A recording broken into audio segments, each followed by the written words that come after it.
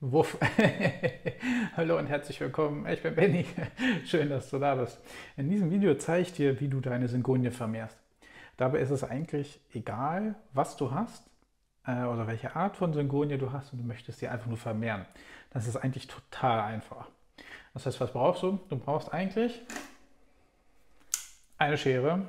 Wenn du es hast, wäre es cool und zwar Zimt ähm, das ist jetzt zum Beispiel einfaches Ceylon-Zimt von Kanya. Also normalerweise das, was man halt auch zum, auch zum Würzen benutzen kann. Ähm, und natürlich eine sehr große Syngonie oder die Syngonie, die ihr theoretisch vermehren wollt. Das heißt, welche, welche Art von Syngonie könnt ihr, könnt ihr eigentlich benutzen? Das ist eigentlich völlig egal. Ne? Ihr könnt zum Beispiel äh, dieses wunderhübsche Stück hier nehmen. Fun Fact, das war meine allererste Syngonie, die ich auf Semi-Hydro umgestellt habe. Äh, da habe ich halt auch einen Tipp zu gemacht, auch ein Video zu gemacht. Ganz einfach. Ne, zum Beispiel diese, diese wunderschöne Art äh, von Synchronie, die ihr theoretisch halt auch schon im Baumarkt kriegen könntet. Ähm, oder ihr habt zum Beispiel ein bisschen was, bin ich schwach, ein bisschen was, ein bisschen was Selteneres. Oder ihr habt zum Beispiel diese wunderschöne Syngonium Three Kings zum Beispiel. Ähm, die hat jetzt hier zum Beispiel noch so ein bisschen variegierte Blätter. Ne? Also hier so einen kleinen, hier so einen kleinen helleren Bereich, was halt auch ziemlich, ziemlich zuf äh, zufällig ist. Ähm, genau, die könntet ihr vermehren oder natürlich eine Albo Variegata könntet ihr benutzen oder eine Mottled, das ist völlig egal. Äh, genau, diese Sachen braucht ihr und äh, ich zeige dir jetzt, wie du sie vermehrst. Und zwar, ihr braucht eine sehr lange Syngonie. Zum Beispiel, ich habe euch hier eine Mottled mitgebracht. Äh, sie ist wirklich schon sehr lang. Sie hat auch einen sehr langen Trieb. Mal gucken, ob ich ihn irgendwo finde. Genau. Er hat einen, sie hat einen sehr langen Trieb und zum Schluss gucken da ein paar Blätter raus. Zum Beispiel so sieht die, so die Mottelt halt aus. Ne? Habe ich hier ein paar schöne Blätter. Entweder die beiden, die jetzt also gerade so schön in die Kamera ragen, die sind natürlich sehr, sehr faszinierend. Hier so eine, so eine Mottel zum Beispiel äh, diese Art von Blätter. Oder hier, wenn sie nicht so viel Licht kriegt, dann sieht das so aus. Hier ist noch weniger Licht und das ist das neueste Blatt. Ähm, ihr braucht sozusagen eine, eine Syngonie. Im perfektesten Fall ähm, hat, die, hat deine Syngonie auch noch solche, auch noch solche, schon solche Luftwurzeln. Das wäre halt wirklich perfekt.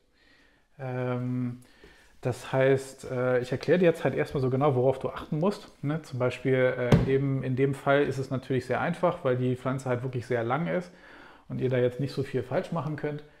Ähm, theoretisch, wo vermehrt sich die Syngonie? Also, das hier, ich blende dir heute auch bestimmt hier gleich noch ein Bild ein ne, an der Seite. Das hier ist ein Wachstumspunkt. Das da. Da, wo die, da, wo die Wurzeln rauskommen. An der Seite haben wir natürlich, okay, vielleicht falsches Beispiel, hier. Hier haben wir den Wachstumspunkt. Hier haben wir zum Beispiel auch schon so kleine Luftwurzeln. Hier haben wir das Blatt, was wir letzten Endes brauchen. Und dann geht das hier weiter mit dem Stämmchen. Dann haben wir hier wieder genau das gleiche. Ein Wachstumspunkt, dann haben wir hier ein Blättchen und hier, das ist der Haupttrieb oder der Kopfsteckling, würde man dazu sagen. Hier, wird, hier wächst die Pflanze weiter. Hier in dem Fall sieht man vielleicht ein bisschen, hier kommt die nächste, der nächste Node oder die, der Wachstumspunkt und das ist das Blatt. So, also genau, was machen wir jetzt theoretisch? Wir nehmen jetzt unsere Schere. Wäre sehr cool, wenn ihr die vorher irgendwie desinfiziert. Also nicht, dass das euer, irgendwie euer Fleischermesser ist, weil ansonsten fangen euch an, die, ähm, die Stecklinge irgendwie einzugehen oder wegzuschimmeln. Ähm, das heißt, kocht das irgendwie vielleicht kurz ab, wascht das mit Wasser oder mit Seife ab oder irgendwie sowas oder desinfiziert das vorher. Das wäre irgendwie sehr schick. Und ähm, was ihr jetzt wo theoretisch auch noch darauf achten müsst, ne? wenn ihr jetzt zum Beispiel, was ich eigentlich immer sehr gerne mache, ihr habt einen sehr langen, äh, ihr habt jetzt in dem Fall so, so einen sehr schönen langen, ähm, eine sehr lange Ranke. Ne? Und äh, fangt jetzt nicht an, irgendwie direkt hier, direkt unterhalb, unterhalb des, äh, des Wachstumspunkts halt abzuschneiden. Ne? Sagt, okay, ihr, ihr nehmt euch jetzt sozusagen so das ganze Stück, wenn ihr das habt, und guckt, okay, wo ist denn der nächste Wachstumspunkt? Der wäre jetzt zum Beispiel hier und schneidet jetzt zum Beispiel genau, ich mache jetzt eigentlich mal 50-50, von Wachstumspunkt zu Wachstumspunkt 50-50. Dann könnt ihr das halt vielleicht immer noch vielleicht ein Stückchen vorkürzen. Aber wenn ihr das halt wirklich 50-50 macht, wie zum Beispiel in dem Beispiel hier, seid ihr wirklich auf der, auf der, richtigen, äh, auf der richtigen Seite. Denn ihr müsst halt immer darauf achten, dass das halt trotzdem immer ein bisschen anfängt zu, anfängt zu schimmeln oder wegzufaulen. Und wenn ihr das halt wirklich direkt hier, hier an dem Wachstumspunkt macht, dann habt ihr halt eigentlich wirklich immer schlechte Karten, wenn ihr das jetzt genau hier abschneidet, weil dann geht halt euch die, euch die Pflanze verloren. Ne? Äh, wenn die Pflanze halt wirklich schon so wie hier äh, so ohne Ende ähm, ähm, Wurzeln bildet, dann ist es das, das Perfekteste, was du haben kannst. Äh, ihr könnt das auch theoretisch ohne machen, dann dauert es aber ein bisschen länger oder die Gefahr ist halt dann sehr groß, dass die Pflanze euch äh, eventuell nicht überlebt. Aber Syngonien allgemein sind da, Syngonien sind da allgemein doch, so, doch schon sehr widerstandsfähig. Das heißt, wir nehmen uns jetzt äh, unsere Schere und wir schneiden jetzt unseren ersten Steckling.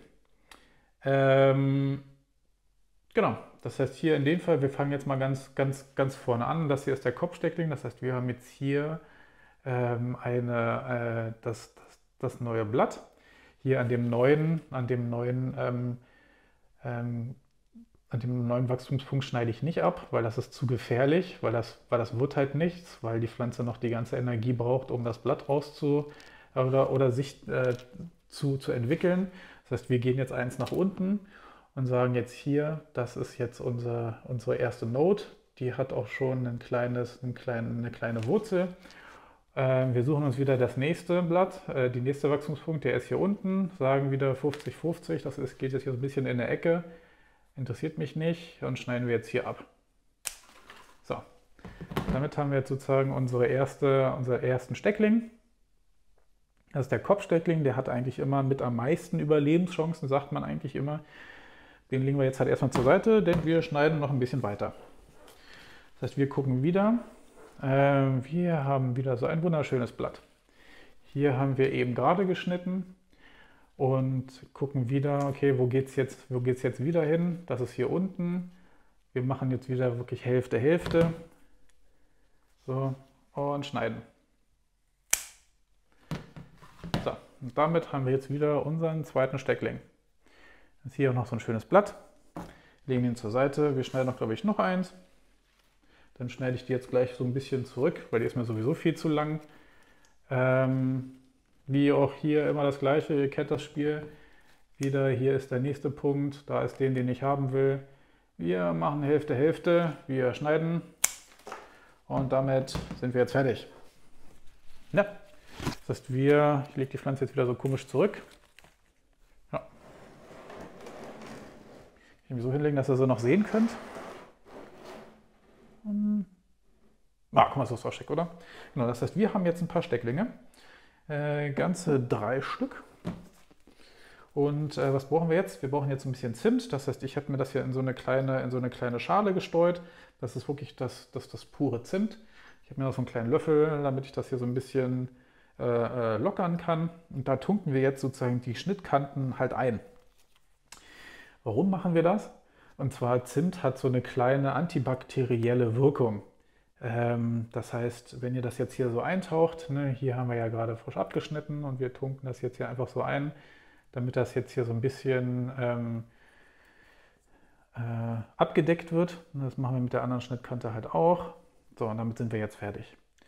Ähm, und zwar damit verringert ihr die Möglichkeit oder die, die, die Chance, dass euch der Steckling irgendwann anfängt wegzuschimmeln, abzusterben ähm, so das lassen wir jetzt halt vielleicht so eine Viertelstunde, 20 Minuten einfach ein bisschen einwirken, ähm, legen den wieder zur Seite.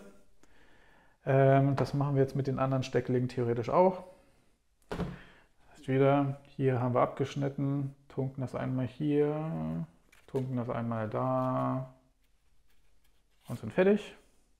Fertig Teil 2, fertig Teil 3, dritter Steckling. Wir tunken das jetzt hier wieder rein, sind fertig. Oben brauchen wir nicht, weil das ist ja der Kopfsteckling.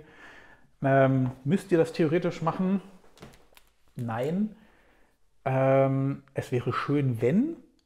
Ähm, müsst ihr aber eigentlich nicht, denn ihr müsst halt sozusagen damit rechnen, dass euch dann theoretisch ähm, euch halt so ein bisschen was vom, was vom Stamm weg, wegfault und dass das halt so ein bisschen schwarz wird.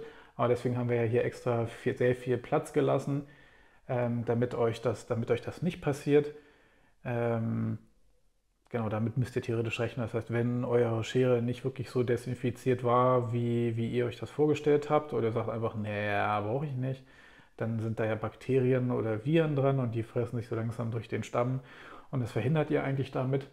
Ähm, genau, deswegen sagt man eigentlich immer, immer Zimt ist da eigentlich sozusagen so das, so das, das erste Mittel, was man im Haus hat. Ihr könnt aber auch sämtliche andere Mittel benutzen, aber Zimt zum Kochen hat man ja irgendwie immer da oder könnte man und deswegen ist das eigentlich ganz, eigentlich ganz cool. So, eine andere Sache, die wir jetzt machen könnten, ne, wenn ihr zum Beispiel äh, so sehr große Blätter habt, ähm, dann könntet ihr die theoretisch noch halbieren. Ne? Warum macht man das? Zum Beispiel, wenn ihr so richtig große Gloriosum-Blätter habt oder so und äh, ihr habt da nur so einen kleinen Steckling, dann fängt man, dann macht man halt eigentlich immer gerne das. Man nimmt das Blatt und man halbiert das. Das heißt, äh, ja, wir haben ja hier noch diese zwei Flügel und man könnte sagen, okay, wir schneiden jetzt halt ungefähr so auf der Höhe das Blatt ab. Äh, das machen wir jetzt vielleicht mal mit, mit, dem, mit dem Steckling. So, warum macht man das? Ähm, und zwar die Pflanze versucht jetzt, also ich, was ich, was wir wollen. Wir wollen ja theoretisch, dass der Steckling die ganze Energie in die Wurzelproduktion steckt. Das heißt, dass die Pflanze so schnell wie möglich A, neue Blätter kriegt und dann an irgendeinem von diesen, irgendeinem von diesen, von diesen Punkten hier oder irgendwo hier ringsherum kommt eine neue Pflanze raus und die wächst dann hier sozusagen raus. Und das möchten wir. Wir wollen zuerst natürlich gute Wurzeln und dann die neue Pflanze. Das ist das, was wir möchten. Wenn ihr jetzt aber ein sehr großes Blatt habt, dann kann es halt passieren, dass die Pflanze sagt, okay, ich habe ja hier Wurzeln, aber ich darf das Blatt nicht verlieren. Denn wenn ich das Blatt verliere, ist halt erstmal, ist halt erstmal doof. Ne? Weil dann kriege ich kein Chlorophyll, dann kriege ich keine Energie und keine Sonne und das ist richtig, richtig doof. Das heißt, die Pflanze versucht jetzt sozusagen die ganze Zeit, die ganze Energie, die sie hier unten mit diesen Stümperwurzeln halt hat, oder vielleicht kriegt sie wirklich eine lange Wurzel, versucht die ganze Zeit das Blatt am Leben zu erhalten. Und das ist halt wirklich doof und das ist nicht das, was wir wollen. dann dauert das nicht irgendwie ähm, eins, zwei Monate, bevor, bevor ihr da wirklich Ergebnisse seht, sondern dann sehen wir uns geführt in einem halben Jahr oder in einem Jahr wieder. Das hatte ich theoretisch auch schon, denn das dauert halt wirklich dann so lange, dass ihr dann halt seht, okay, das Blatt sieht jetzt nicht mehr wirklich so schön aus, wie es halt vorher mal war, aber dafür kriegt ihr dann schnelle Ergebnisse. Ähm, müsst ihr das machen? Nee, Ne, ihr müsst halt nur damit rechnen. Also ich würde es halt nicht, ich würde es jetzt nicht so abschneiden, ne? das, das, das ist es halt nicht, sondern dass ihr so sagt, so, ihr habt jetzt hier ein Blatt und da schneidet ihr irgendwie so ein bis maximal zwei Drittel ab, sodass ihr seht, okay, das Blatt ist schon wirklich wesentlich kleiner, als es vorher war. Ähm, und äh, ähm, dafür ist es jetzt halt einfacher, dass die Pflanze halt immer noch Energie aufnehmen kann und die Energie, die sie hat, die reicht halt aus, um die um die vorhandenen Blätter zu versorgen, als auch neue Wurzeln und einen neuen Trieb zu versorgen. Und das ist das, was wir möchten. Ne? Das theoretisch, das können wir jetzt mit dem anderen Steckling halt auch noch machen. Ne? Mit dem Steckling, das Blatt ist mir halt wirklich ein bisschen zu groß. Ähm, das schneiden wir jetzt halt wieder so genauso ab wie, der, wie, wie, ähm, wie vorhin. Dass man sagt, irgendwie so, ja, ich würde mal sagen so 60 Prozent, wenn ich mir das Blatt jetzt so angucke dass man da jetzt so 60 Prozent halt abschneidet, denn ich habe ja hier noch diese kleinen Lappen äh, und das reicht halt vollkommen aus. Dafür geht es jetzt wirklich schneller.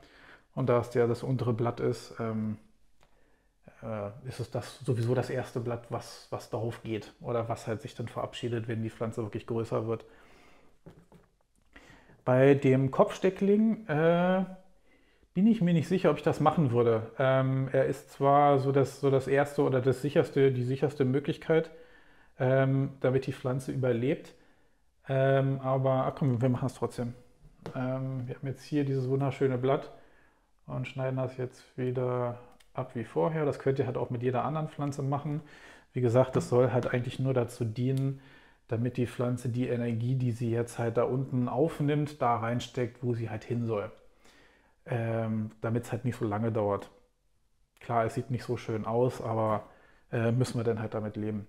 So, das nächste, wir haben jetzt diese Stecklinge, also theoretisch, was haben wir jetzt gemacht? Wir haben uns jetzt eine Syngonie genommen, wir haben sie abgeschnitten, wir haben die, äh, die Wachstumspunkte, ihr wisst jetzt, was Wachstumspunkte sind, ähm, dass ihr am besten Fall halt schon ähm, ähm, so kleine Luftwurzeln haben solltet. Das wäre wirklich so, dass das äh, Note, Note 1 Ähm, weil das, weil das ist wirklich dann sehr viel einfacher und geht auch wirklich sehr viel schneller, als wenn ihr jetzt halt mit so einem Stumpen anfangt, mit so einem kleinen Stumpen, wo wirklich gar nichts dran ist.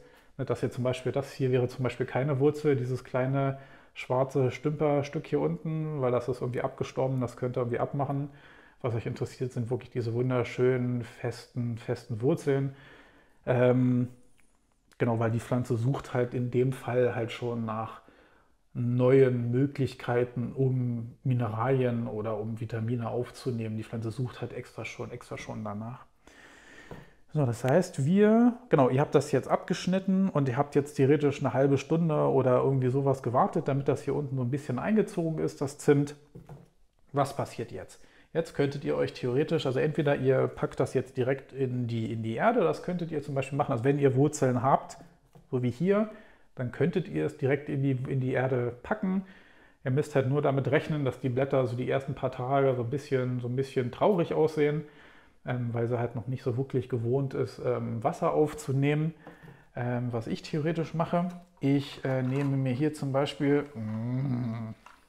ich nehme mir, also ich, äh, ich nehme halt immer so ein kleines Trinkgefäß, das ist eine 1,5 Liter Flasche. Ich schneide hier einfach oben, oben ab fülle das Ganze mit normalem Leitungswasser und stelle dann da meine Stecklinge rein ähm, und packe sie dann in diese, in diese Wachstumsbox. Das heißt, hier stehen alle meine Pflanzen, das ist eine normale IKEA-Box in diesen Wasserflaschen drin. Und ähm, warum mache ich das? Weil diese Pflanze oder die Pflanzen haben mit drin eine sehr hohe Luftfeuchtigkeit. Das heißt, die Pflanze kann nicht nur über die Wurzeln äh, Mineralien aufnehmen, sondern halt auch, wenn sie möchte, oder zumindest nur Wasser, äh, über die Blätter. Das ist zum Beispiel halt auch ein sehr guter Punkt, dass ihr, dass ihr ähm, wenn es geht, ihr eine hohe Luftfeuchtigkeit beschafft. Ne, das ist so das Perfekteste, was ihr machen könnt. Ähm, das heißt hier zum Beispiel jetzt hier mal ein bisschen vom Thema abgelenkt, ein kleiner Philodendron, mein kleiner Knoblauch.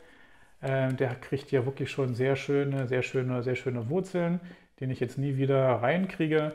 Ihr kriegt auch noch so ein bisschen Kallus, heißt das, glaube ich. Ne? Diese, diese, ähm, äh, das hier, ne? so diese, diese ersten Wurzelbildungen. Ähm, das ist halt auch ein sehr schönes Zeichen.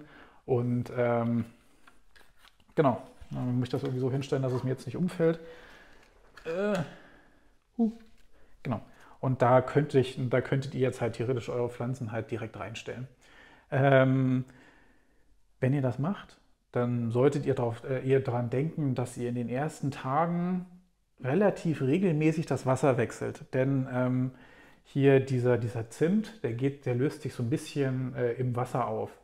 Das ist vielleicht für einen Tag ganz cool, aber wenn das da länger drin ist, dann fängt das an zu schimmeln, an zu faulen an, äh, dann riecht das komisch und dann gehen eure Stecklinge ein. Das heißt, ihr müsstet halt wirklich in der ersten Woche, ich würde euch mal raten, so zwei bis dreimal das Wasser wechseln. Und wenn das dann halt erstmal klar ist, dann könntet ihr irgendwie jede Woche ein, einmal, zweimal Maximum das Wasser wechseln. Ähm, wenn ihr so, so eine Box nicht habt, dann ist das auch völlig in Ordnung. Äh, stellt das Ding, also dieses, dieses, dieses, äh, dieses Gebilde dann, na, wir können es ja trotzdem mal machen, dieses, dieses Gebilde stellt das dann, ne, wir nehmen gleich mal den hier, äh, dieses, dieses Gebilde, stellt das nicht, äh, stellt das nicht direkt in, äh, in die gleißende Sonne, ne, wie mit allem anderen, fangen dann, ähm, kriegt ihr dann hier Algen drin ähm, und, das ist, und das ist halt nicht schön. Ähm, wenn es halt auch wirklich geht, wenn ihr das irgendwie beeinflussen könnt. Ne? Ihr habt jetzt ja hier zwei Schnittpunkte. Ich würde auch maximal einen Schnittpunkt, dass ein Schnittpunkt die ganze Zeit im Wasser steht. Das heißt, ich würde den oberen äh, den oberen jetzt halt wirklich trocken lassen. Das verhindert so ein bisschen, dass, halt, dass ihr an zwei Stellen dann eventuell äh, Fäule habt. Das heißt, ich würde das dann irgendwie nur, äh, ich, ich, ich würde das dann halt so lassen, dass der, dass der eine irgendwie immer ein bisschen frei steht und nicht so wie jetzt, dass, dass das dann halt wirklich unter Wasser steht. Ne? Ähm, genau, nicht in die knalle Sonne stellen, denn das fängt an zu, äh, ne, das fängt an zu, an zu Algen, das wird sehr heiß und das verträgt die Pflanze nicht klar mollige 25 Grad von unten sind in Ordnung mit einer Heizmatte, aber jetzt nicht äh, Sommer, Sonne, Sonnenschein, 30 Grad und äh, Gippen eins. Das, das findet die Pflanze überhaupt nicht schön. Ähm, was könntet ihr machen? Apropos Luftfeuchtigkeit, damit die Pflanze nicht nur Wasser oder äh, in den ersten Tagen äh, Wasser über die Wurzeln aufnimmt, sondern auch über die Blätter. Dann könntet ihr euch zum Beispiel, es gibt so einen kleinen Fruchtbecher, ne? Äh, die haben hier unten, die haben, die haben oben noch so eine runde, noch so eine runde äh, Kappe, die könntet ihr abnehmen, das könntet ihr nehmen. Ihr könnt euch aber auch, ihr könntet aber auch einfach so eine kleine Mülltüte rüber machen. Ihr müsst nur sehen, dass das halt wirklich, dass das halt wirklich fest ist, dass das wirklich, äh, dass die Luftfeuchtigkeit nicht rauskommt. Das könntet ihr machen. Braucht ihr es? Nö. Äh, ihr könnt es halt auch ohne machen. Äh, es würde der Pflanze nur helfen, schneller mehr äh, Feuchtigkeit aufzunehmen. Denn da ist jetzt gerade pures Chaos, weil die Pflanze weiß nicht, oh mein Gott, was ist jetzt los? Ähm, ne, dass ihr der Erde so ein bisschen entgegenkommt.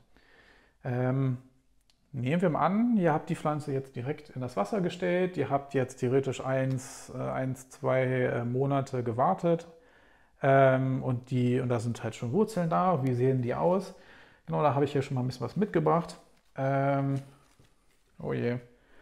Zum Beispiel ähm, die Wurzellänge, das wäre schon längst überfällig für mich, weil die Pflanze ist jetzt, glaube ich, schon seit eins, zwei Jahren drin.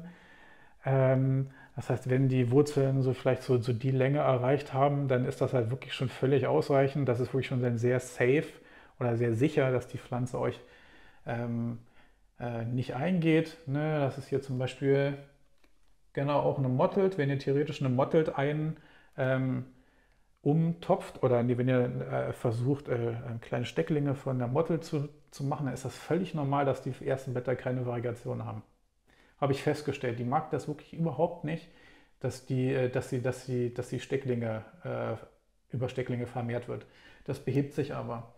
Ähm, das heißt, wenn ihr die halt wirklich sehr viel mehr Licht gebt ähm, und die nächsten Blätter werden dann halt wieder ein bisschen variierter, habe ich festgestellt dass das, äh, dass das richtig doof aussieht, aber Niesblätter werden besser. Ne?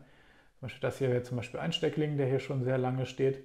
Ähm, hier habe ich theoretisch auch noch, äh, auch noch das gleiche mit so ein bisschen Geschwüren da unten. Das steht hier halt auch schon wirklich sehr lange. Es hat auch noch eine Mottelt. Dann habe ich hier, glaube ich, meinen einzigen äh, Albo variegata Steckling, den ich halt habe, weil mir ist die Pflanze, äh, ich habe die Pflanze irgendwann mal abgeschnitten und dann ähm, ist so das hier daraus geworden. Das ist wirklich eine lange Wurzel.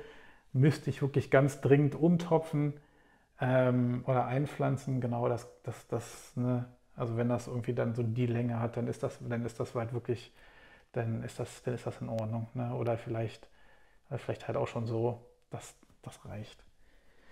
Genau, das heißt, äh, welche, wie sehen die Wurzeln aus oder welche Länge müssen sie haben, damit die äh, damit ihr das einpflanzen könnt. Ich würde mal wirklich auch mal ganz frech behaupten, dass wenn die Wurzeln, Luftwurzeln wirklich schon so lang sind, dass ihr damit, dass ihr damit auch theoretisch schon direkt in die Erde gehen könnt. Ähm, weil, das, weil das ist so die Länge, die Wurzeln sehen gut aus und das dürfte theoretisch halt auch schon ausreichen, um, ähm, um sofort Nährstoffe und Co. aufzunehmen. Klar, die erste Woche sieht es vielleicht ein bisschen traurig aus, aber danach dürfte das halt auch sofort anlaufen. Äh, wenn ihr es nicht habt oder die seht, die Pflanze sieht jetzt halt erstmal so aus und ihr habt da nur so einen kleinen, so einen kleinen Regenwurm da rausgucken, dann ähm, würde ich da erstmal ein bisschen vorsichtig sein und erstmal ein bisschen in Wasser stellen. Ähm, genau. Und damit habt ihr jetzt sozusagen eure Syngonium äh, vermehrt. So einfach geht es eigentlich. Äh, Braucht ihr jetzt noch irgendwas von mir? Ich denke mal ganz kurz nach. Zimt, genau, braucht ihr, braucht ihr nicht. Genau, ich habe euch ja generell erstmal nur Vorschläge gemacht. Ne? Wie zum Beispiel diese, diese Wachstumsbox, wie ihr sie aufbaut. Äh, könnt ihr vielleicht im oberen Video sehen. Wenn ihr jetzt zum Beispiel Wurzeln habt und ihr habt jetzt, und eure Pflanze sieht jetzt halt wirklich so aus mit den Wurzeln, dann seid ihr eigentlich frei zu entscheiden, in welches Substrat ihr sie topft. Das heißt, ihr könntet normale Erde nehmen, ne? so der Klassiker. Ihr könnt euch aber auch mal in Semi-Hydro probieren. Das habe ich euch hier oben gezeigt, wie ihr das machen könnt. Wie eure Pflanze sozusagen in Semi-Hydro gewöhnen könnt. Da ist ein Trips drauf. Yeah, ich hasse diese Viecher.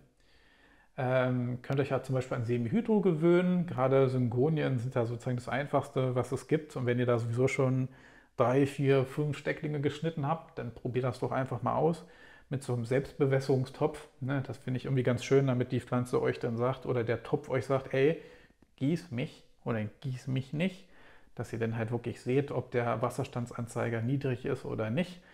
Das finde ich eigentlich immer sehr praktisch. Äh, ihr könnt es auch in sämtliche andere Substrate der Welt topfen. Ihr könnt Perlite, Lichuza, Pon, äh, Aquariensubstrat, äh, Kalksteine oder was weiß ich was nehmen. Es ist, ist, äh, es ist euch überlassen. Ihr könnt wirklich an dem Zeitpunkt dann machen, was ihr möchtet. Oder das, womit ihr euch am sichersten fühlt. Wenn ihr herumexperimentieren wolltet, ne, dann sind jetzt äh, Syngonien, also jetzt nicht so eine variierte Version, sondern äh, sowas was Unzerstörbares hier unten oder eventuell auch noch eine Mottled. Perfekt fürs Herumexperimentieren, denn Syngonium finde ich persönlich mit Philodendron sind sozusagen eine mit der zerstörbarsten und anfängerfreundlichsten Pflanzen, die man halt haben kann. Gerade wenn es auch um äh, Erhalt von Variegationen geht, dass ihr da so ein bisschen herum experimentiert und fangt mit einer Syngonia an und probiert euch dann halt aus, was euch am besten gefällt. Äh, genau, dann sollt ihr sozusagen frei zu entscheiden, was ihr damit macht. Puh, das war ziemlich lange. Äh, ich hoffe, euch hat das Video, äh, das Video gefallen und ihr wisst jetzt sozusagen, wie ihr eure Synchronium am besten vermehrt.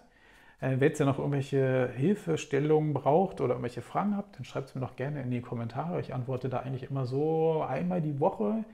Wenn es halt wirklich brennt, dann, dann gucke ich da auch mal, dann gucke ich auch da auch mal länger oder auch mal, dann antworte ich auch mal schneller.